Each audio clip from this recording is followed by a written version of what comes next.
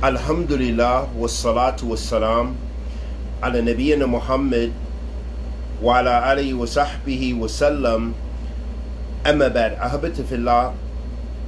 the question is how can we continue to misguide the youth? The answer to that we're going to look at two principles if you will that some of the people push forth propagate and spread amongst the youth to cause confusion and fitna and in fact to exalt Hizbiyah in order to prop up Hizbi beliefs and Hizbi ideology. Some of this is don't, done knowingly and some of this is done unknowingly. Some people may not know that they have Hizbi traits, whereas others realize they have the knowledge, they have the background, and they realize at times that they're propagating evil, but they continue to propagate it and spread evil amongst the youth. What inspired me to talk about this, Ahabatifillah, is because of the kethrat of fitan that we see, we get asked questions about sometimes brothers want to marry sisters that have that listen to a particular scholar which is known or at least was previously known from Ahl Sunnah and the brother may go to a masjid that is against that scholar. Should I marry the sister or not? Uh, there's a brother who's like this. Should I be with that brother or not? This brother listens to so and so. Should I befriend him or not? So, all of these kind of questions which are often strange, especially when they are coming from people who basically have the same minhaj. Where, yes, there may be akhta here, there may be mistakes here, and there may be mistakes there. But it, the biggest, one of the biggest issues that it comes down to is we don't know how to deal with our differences. That many of the people that are students or claim to be students, so they could be two categories. They could actually be students that are strong in some aspects of knowledge, but in others are weak. And then there can be those who are not even students and those who are somewhere in between. Because people tafawit, they have different levels. But whatever the reason behind it is, is there is a problem with people not knowing how to deal with differences and with people forcing people to take their view. So we wanted to deal with this from the kalam of Ahl al-Ilm and not just Ahl al-Ilm, but we mean the Rasikhun fil Ilm in this time. From some of the major Imams, and we're just really going to mention a couple of questions that were already mentioned to Imam bin Uthaymeen when he was alive, Allah yarhamuhu, that dealt with this fitna, but you don't hear these things, and these things aren't brought out, and the people still consider the same old tired Hizbi madhab and cause fitna and discord between Ahl Sunnah when Ahl Sunnah is in need of being one hand because Allah subhanahu wa ta'ala says in Kitab al-Kareem وَاعْتَسِمُوا بِحَبْلِ اللَّهِ جَمِيعًا وَلَا تَفَرَّقُوا Hold on all of you steadfast to the rope of Allah subhanahu wa ta'ala and do not divide. And, and the Prophet sallallahu alayhi wa sallam said افتركت اليهود على 71 فرقة وافتركت النصارى على 72 فرقة وستفترك هذه أمة على 73 فرقة كلها في النار الواحدة And we all know this hadith the Prophet ﷺ said the Jews in the 71 sects, Christians 72 sects, my Ummah 73 sects, all of them in the fire except one. And they said, Who are they, Ya Rasulullah? He said, Those who are upon what I'm upon and what my companions are upon. Radiyallahu ta'ala ajma'een. So we know the nusus. And people have heard of the nusus. But it seems that there's a qillat fahm. That there's a just, there's not quite that many people seem to understand those nusus and practice those nusus. And understand that this is madmoon to divide, that you should be striving. The asal is that we should be striving to, to cooperate on kitab wa sunnah and not divide. And not divide into groups and hizb kullu hizbi ma farihun with every group rejoicing in what they have. These ones rejoice because they take from Sheikh so and so. These ones rejoice because Sheikh so and so redded this one. These ones rejoice because they're having a conference here. And these ones make a poster and ridicule those scholars and deceive the people. Will understand.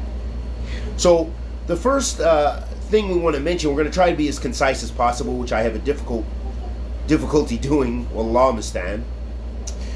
The first principle that we have to be aware of, that we have to be aware of, and we have to beware, is be with us, or we will warn against you. And you know, you have to be down with our clique down with us on one issue. You need to be down with us because we warned against him, so you better come on our team.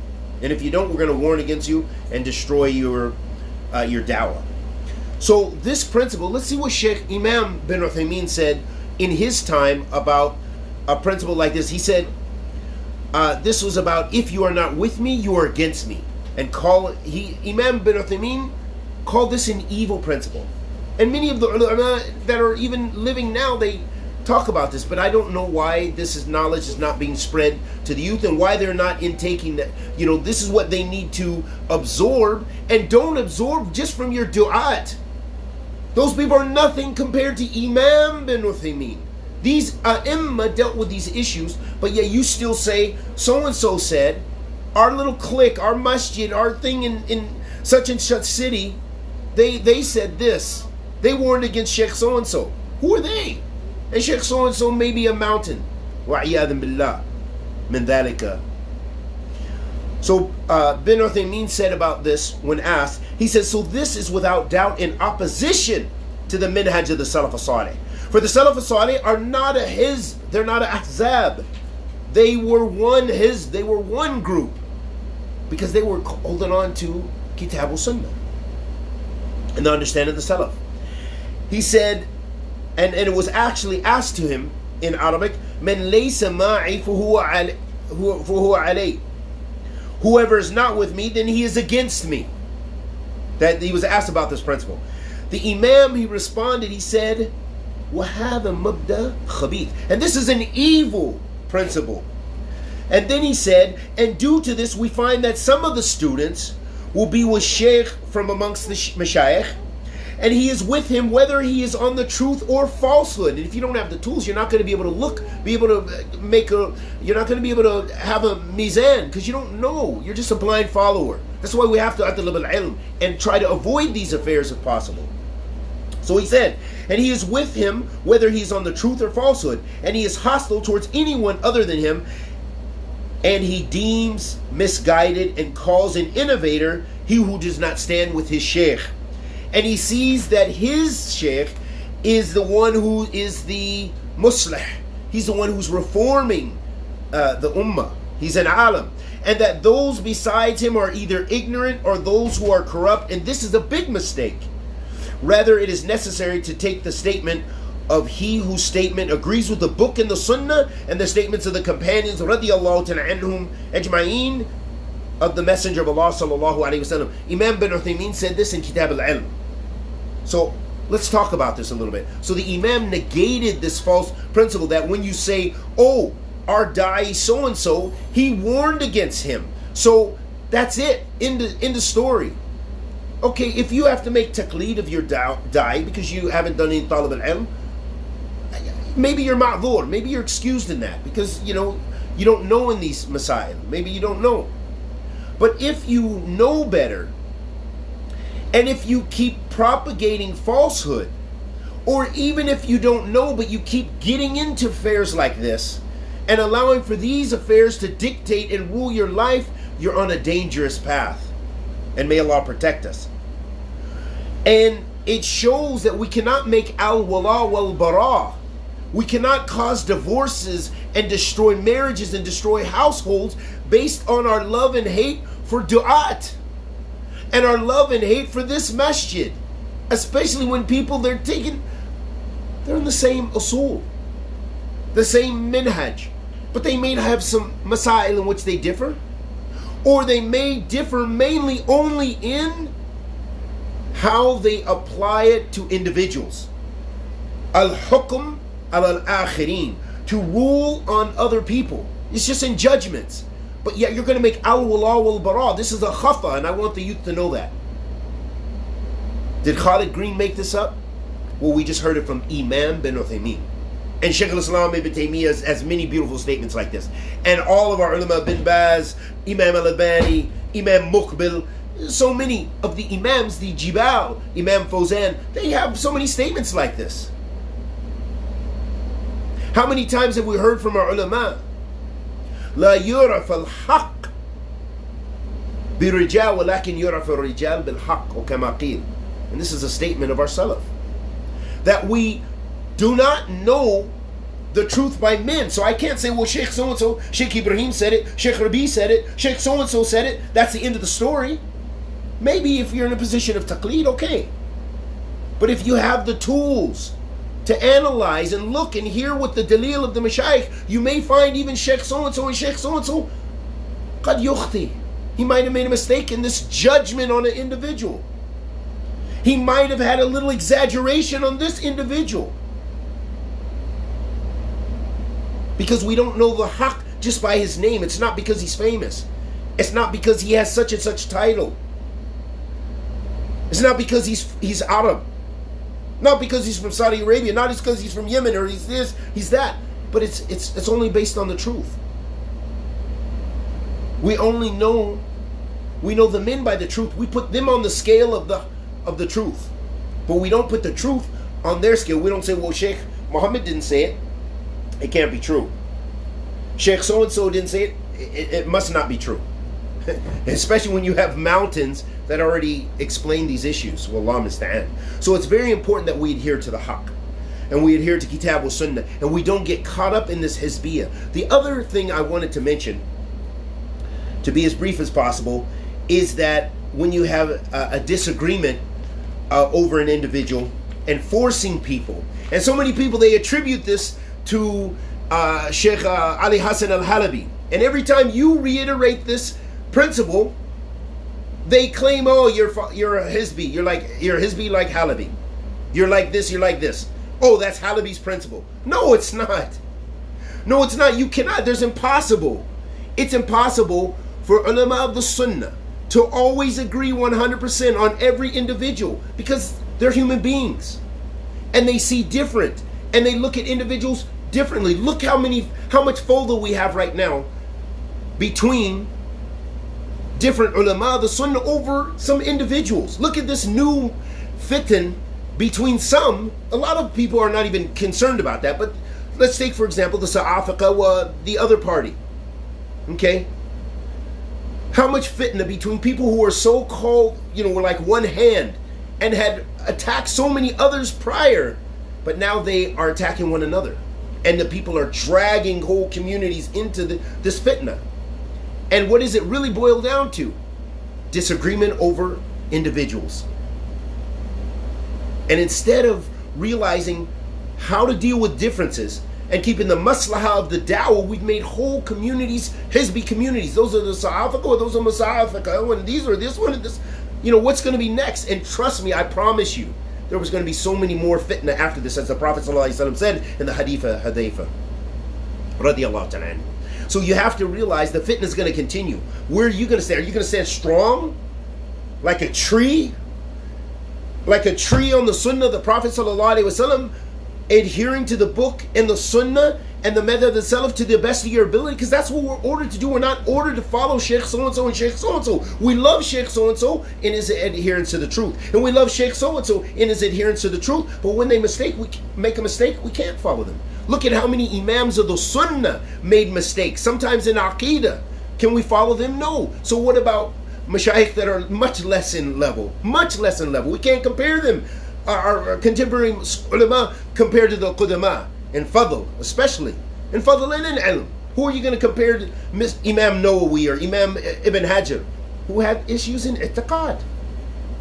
So learning your religion is where your priority is.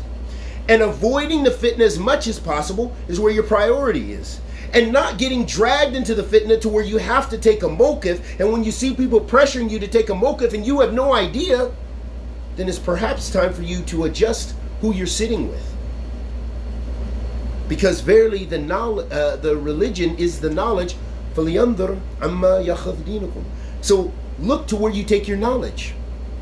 Look to where you take your knowledge. Are they people fitin?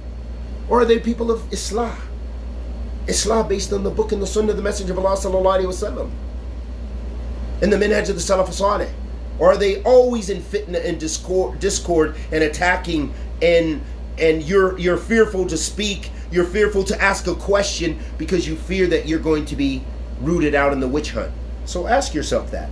And ask and, and believe me, is that from the minhaj of the Salaf?